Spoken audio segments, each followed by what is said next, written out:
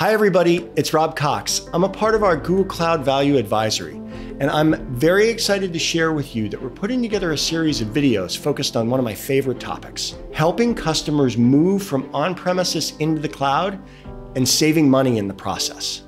We're going to cover things like how to put together a strategy for cost savings, how to optimize for cost savings, and we're going to unearth some lessons that other customers have learned and share them with you. Throughout this whole process, we value your feedback and we want to hear from you. So please submit your questions and submit your ideas. I look forward to hearing from you. I look forward to seeing you in future episodes, and I hope to see you soon.